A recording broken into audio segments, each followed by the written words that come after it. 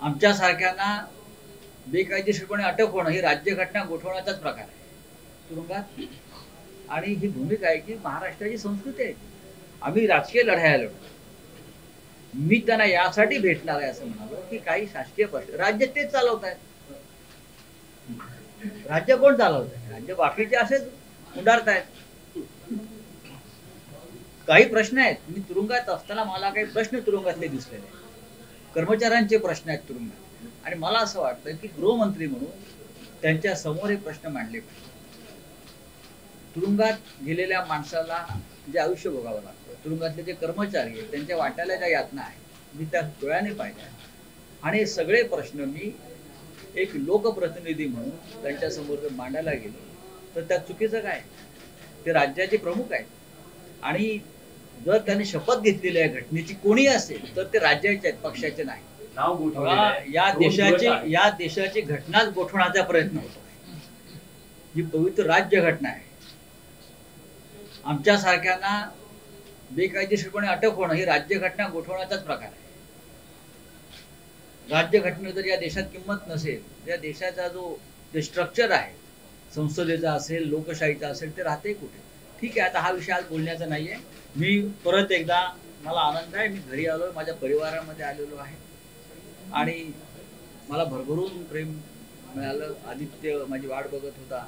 सकाळी मला तेजसचा फोन आला लवकर आज सात वाजताच.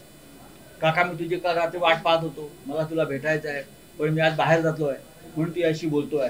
बरं का? आणि त्यांनी अशी पंधरा मिनटं गप्पा मारल्या कालच्या सगळ्या वातावरणावर शिवसेनेवर. पक्ष फोडण्याचा प्रयत्न केला जातो आहे बेकायदेशीर अटका केल्या जात आहेत खोट्या केसेस केल्या जात आहेत.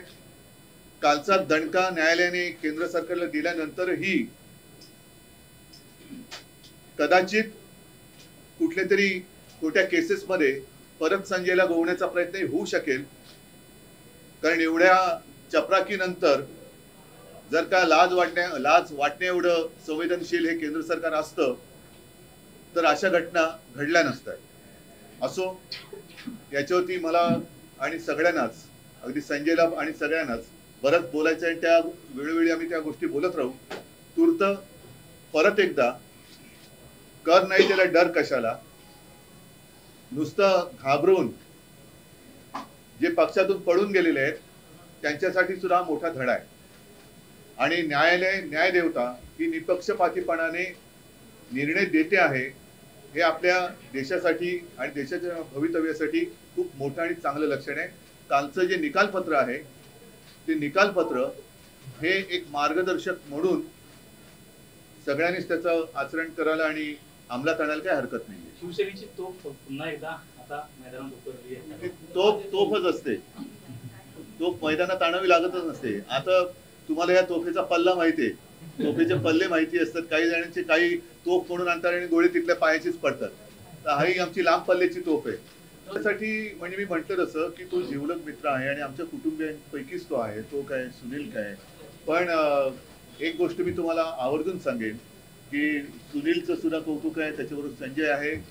संजयच्या आईचं आमच्या वहिनींचं आणि त्यांच्या मुलींचं सुद्धा मला कौतुक करायला पाहिजे. कारण शेवटी काय होतं आम्ही एकत्र कुटुंबासारखे असल्यानंतर धीर कोणी कोणाला द्यायचा? आणि मधल्या काळामध्ये त्या काही बातम्या आल्या होत्या तेव्हा मी सुद्धा थोडासा एक भाऊ झालो होतो. मला संजयला खूप भेटावंसं वाटत होतं आणि मी म्हटलं मी त्याला तुरुंगात सुद्धा येऊन भेटायला तयार आहे.